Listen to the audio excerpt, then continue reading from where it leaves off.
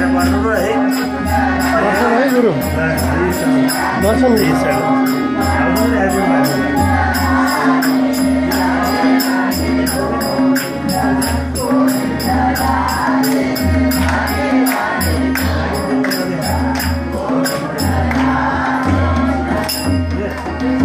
भाइ ठिक छ अब